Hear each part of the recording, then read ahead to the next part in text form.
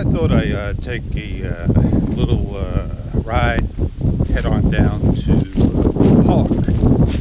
And here I am uh, near a uh, lake, it looks like, and it's really big. When I came across from the other side, I turned the camera around.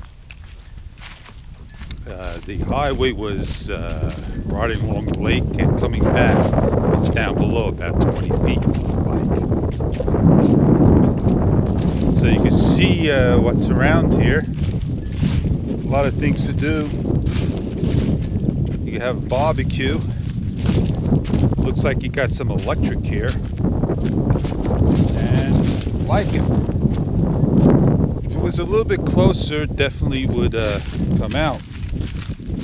Now, I'm not sure what this really is. Could be propane. No. It's a light. No. It is electric. And normally, uh, I don't have things like this by me. So, I am happy to see that. Hey, I could go ahead and touch the water again. Uh, I did touch the Mississippi River, and I was happy. So it is uh, a relaxing day, a little cool, and the next uh, two days is going to be uh, raining. So let's go see what else we could do, what we could find out. I'll see you guys later. You have to uh, pay to get into the park, and the attendant's not there. You could walk right in. Well, let's take a look. Everything's closed. Here's the door. I wonder how uh, comfortable it is walking through glass. Mississippi. You can sit down here, relax in the rocking chair. And that's exactly what I'm going to go do.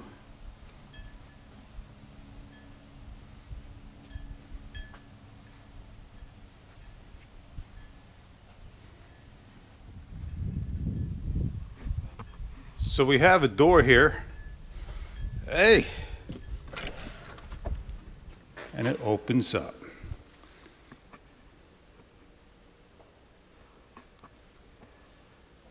So if you need to go to the bathroom, the bathrooms are right there. Very, very interesting.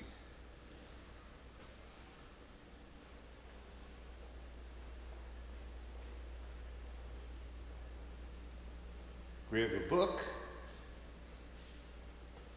you name it. A little kitchen, some food. Well, time to get out of here.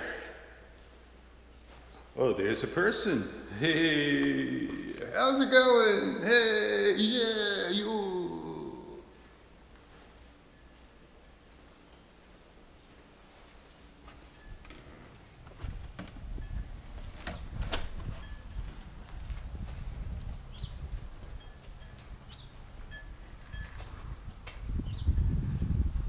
I guess that's the hospitality of Mississippi. The door's always open. Come as you please, go as you please.